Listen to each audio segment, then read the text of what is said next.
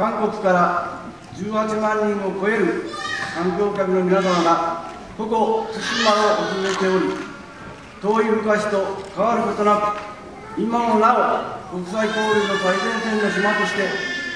重要な役割を果たしております 작년에만 18만 명이 넘는 한국 관광객 日韓共同で朝鮮通信使をユネスコ基本遺産へ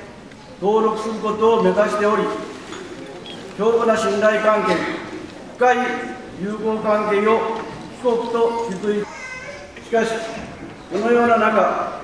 仏像盗難問題は私たちが手を取り合って進むべき道の障害となっているようです。仏像盗難問題を早期に解決しその障害を取り払うことでさらなる友好交流事業の推進信頼関係友好関係を構築し日韓友好をますます加速させていきましょう 그런 작년 스시마 북상 도난 사건으로 인해 조선통신사 행렬 제연이 중단되었으나 조선통신사의 성신교류 정신을 바탕으로 서로의 시대를 통해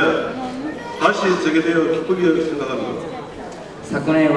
鉄道盗難問題により対馬での朝鮮通信使行列再現が中止となりましたが朝鮮通信使の精神降臨精神をもとにお互いに信頼を持って再開でき大変喜ばしい